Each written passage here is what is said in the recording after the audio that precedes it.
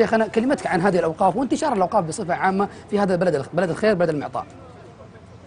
قصة الوقف آه، قصة قديمة. منذ أيام محمد صلى الله عليه وسلم كان صحابته رضوان الله عليهم آه، الذي يجد ما- فيوقف. وقف.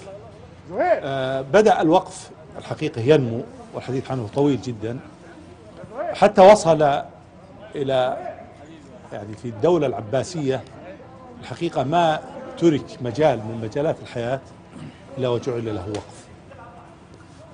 تخيل آه، الخيول التي هرمت في الجهاد في سبيل الله وضع لها وقف لأن يهتم بها.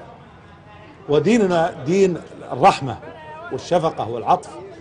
وليس المقصود فقط هو العطف على هذه لا الم- المقصود يعني الوفاء أن المسلمين أوفياء مع الكل حتى مع العدو وفيين ووفيين مع البهائم. آه، وضع أوقاف للمساجد وضع أوقاف لمن فقد أعزكم الله حذاءه موجود أظن الآن في مكة المكرمة. وجد فهذه الظاهرة أو هذا الموضوع موضوع مهم جدا. وهذا من أسباب الحقيقة قوة الدولة الإسلامية في عصورها الزاهرة. كيف حالك؟ ثم الله يسلمك آه، انتقل هذا الفكر الرائع الفكر ال- ال- ال- ال- يا الوقف.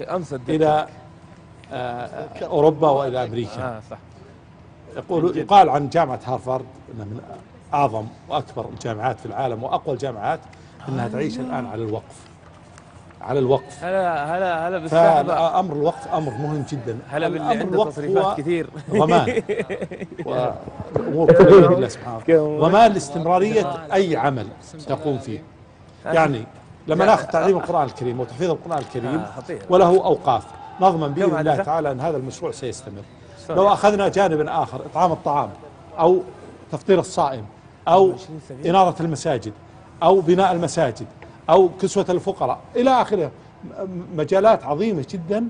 الحقيقة لما تكون يوجد وقف هذه. تكون خططنا آه، مدروسة ونصل إلى الأهداف ونحن نعرف آه، كيف نسير وإلى أين سننتهي.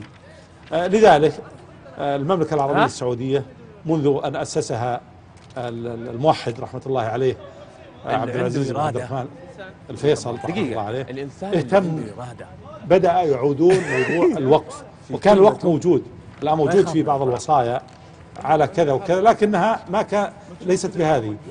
آه، فعادوا شكلت ال- الحكومة أو ال- ال- الوزارات وضعت آه، وزارة الحج والأوقاف واهتم بالأوقاف وبدأت ولله الحمد لله تزدهر حتى خرجت هذه الجمعيات وهذا. الذي يسمى القطاع الثالث. وكان التوجه العام الاراده القويه توجه الحكومة كلمة. حفظهم الله أيوة، وتولاهم وتوجه لحظة. المحسنين أن الشخص يكون هناك اللي أوقاف عنده اراده قوية. لتضمن استمرارية أعمال آه، الأعمال ال- ال- ال- ال- الخيرية في البلد.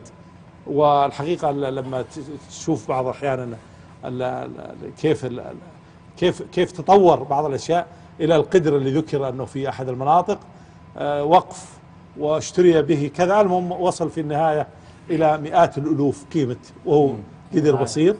وغيره آه، أذكر إسراج أظن أو كذا في أحد المناطق أيضا آه، شري به عقار. العقار يسر الله وقف.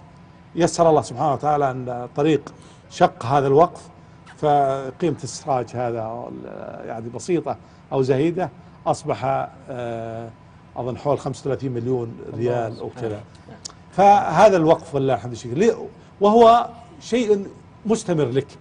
يعني اللي أوقف في هذا البرج أو غيره من الأوقاف. تخيل كل واحد مثل ما ذكر أخي الشيخ أبو فيصل كل واحد يقرأ القرآن الكريم فلك مثل أجره. حتى لو ما دفعت المبلغ الزهيد في نظرنا لكنه عند الله عظيم سبحانه وتعالى.